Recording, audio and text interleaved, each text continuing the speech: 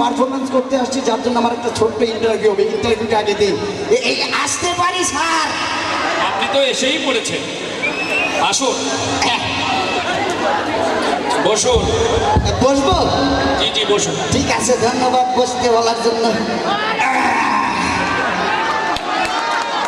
এই এই আপনাকে বসতে বলেছি।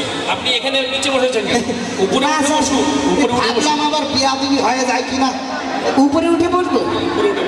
উপরে উঠে বসতে হবে। আচ্ছা আচ্ছা ঠিক আছে ঠিক আছে এই।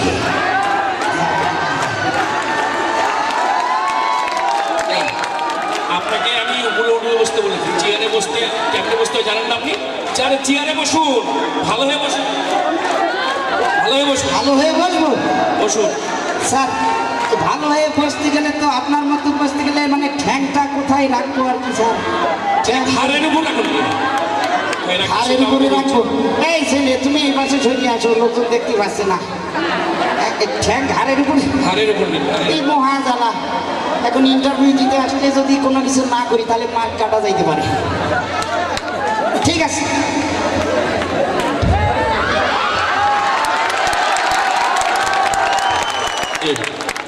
আপনি একটা ইন্টারভিউ দিতে আসছেন আসলে আপনি কি এর আগে কোথাও ইন্টারভিউ দেননি? চেয়ারে বসতে জানেন না আপনি ভালো হয়ে বসুন। ভালো হয়ে স্যার আপনি বলেন ঘাড়ের উপরে উঠাইতে এখন আবার বলছেন। একটা চেয়ারে কেমনে বসতে না জানেন না? আপনি ইন্টারভিউ দিতে আসছেন? ঠিক আছে স্যার এইভাবে বসলাম। আচ্ছা ঠিক আছে। আপনার নামটা বলুন তো। নাম স্যার কোনটা বলব? আব্বাই যেটা রাখছে সেইটা না আম্মা যেটা রাখছে সেইটা। আরে একটা নাম বলুন না। আমার নাম স্যার মধু ঢালি। কি? এটা আবার কেমন? স্যার কেন? যখন আপনার অফিসে ঢুকলাম দেখলাম নেম প্লেটে সুন্দর করে আপনার নাম লেখা শিশি পাতি।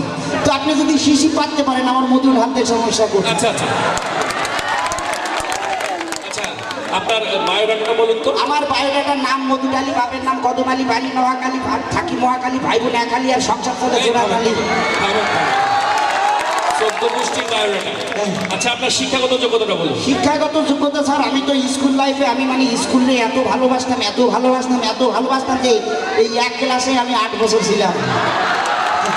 তো যাই হোক আমি এসএসসিতে অনার্স ফিল্ড ডিভিশনে পাস করেছি এটা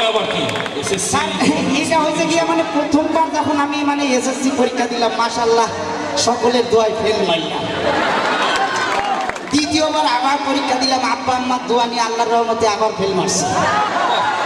তৃতীয়বার বিয়া কইরা শ্বশুর শাশুড়ি দোয়া নিয়ে একটা মুরত জবাই করে পরীক্ষা দিলাম, আলহামদুলিল্লাহ, এবারের মতো আবারও ফেল মারলাম চতুর্থবার পারি যে আপনাদের বর্তমান যে এখানে উপজেলা নির্বাহী অফিসার, আমার শ্রদ্ধ বড় ভাই জাহাঙ্গীর স্যার, উনি তখন আমার এলাকায় ছিলেন, উনি বললেন তানবীর তুমি খুব ট্যালেন্ট ছিলে, আরেকবার চেষ্টা করো। তো ওনার কনফিডেন্স নিয়ে চতুর্থবারের মতো পরীক্ষা দিয়েছি এবারে একেবারে একশো একশো, আবার ফেল